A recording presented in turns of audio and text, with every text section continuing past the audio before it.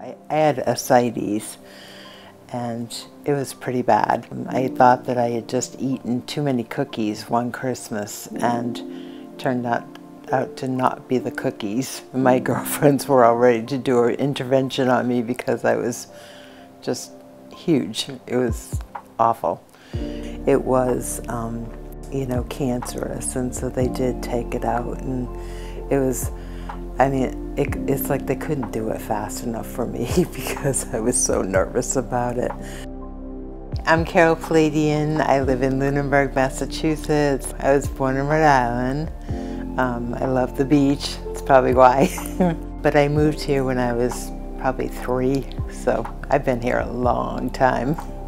One of my friends is a GP, and she referred me to um, a couple of different hospitals, but she said that I really should go to MGH because they are one of the best caregivers. They referred me to um, the radiology department and they started to see me there and they did a TIPS procedure and the TIPS um, went really well. My radiologist and my radiology team, who is um, Melissa Chittle and then Dr. Zakia, really advocated for me to get it done. And to this day, I, you know, I treasure both of them. They are just incredibly wonderful people, and they have um, fought for me the whole way and just been very supportive.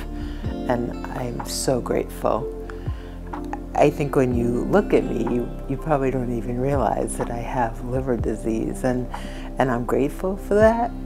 And, you know, I am waiting on a liver transplant, and I probably won't get one until late next year.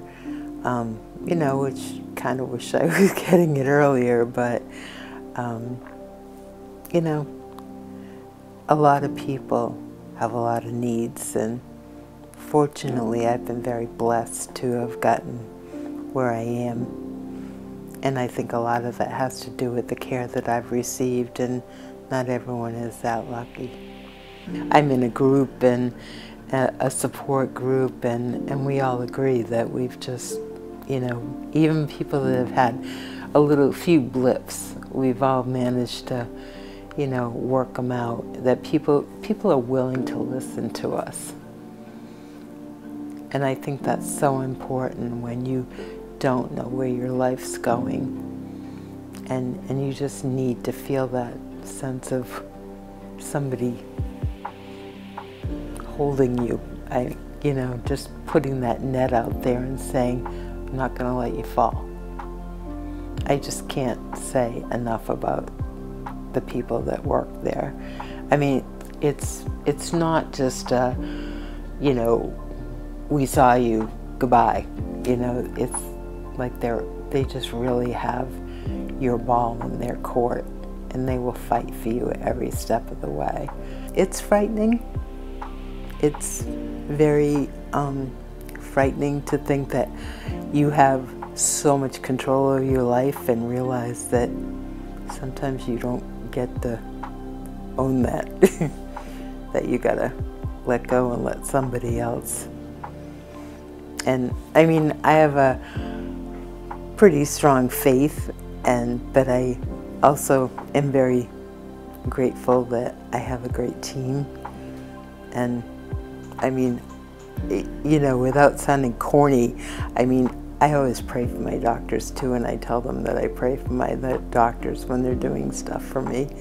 And, and I've had some really nice responses from people too.